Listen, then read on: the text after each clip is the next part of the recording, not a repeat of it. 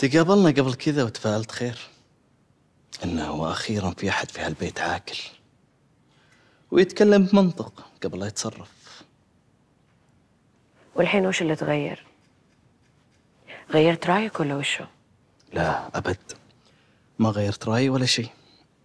للحين متفائل إنك تعقلين بنت أختك. بما إنك على رابط زواجها الميمون الحين انت تارك شغلك وأمورك كلها. وجاي لين هنا عندي عشان تقول لي ذا الكلام؟ أنا للحين ما قلت شيء.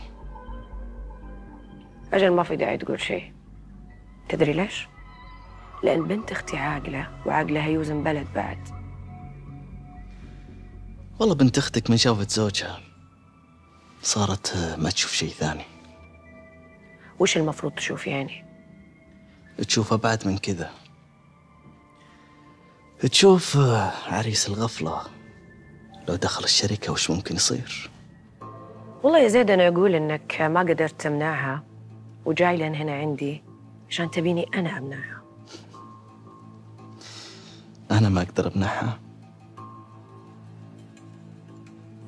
أنا أمنعها ونص. بس قلت أجيك. يمكن أنت توفرين علي هذا كله. طيب. إذا هذا اللي جاي عشان تقوله فتطمن. رسالتك وصلت. ها؟ في شيء ثاني تبي تضيع وقتك فيه؟ أنا أقول عقليها لأن واضح إنها انجنت بعد فرحة زواجها. ما أنصحها بعد إنها تشوف جنوني. لو لمحت ولد الخطوان في الشركة.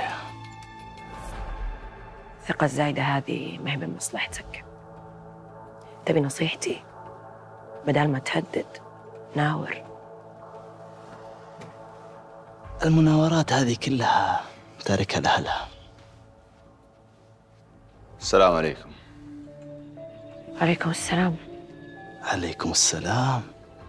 يا هلا وسهلا. خير سلامات وش فيك؟ مكسر وحالتك حالة. كل هذا بأول أيام زواجك. وش خليت القدام يا خديجة! سوي شوربة للعريس عشان تقوى عظامه.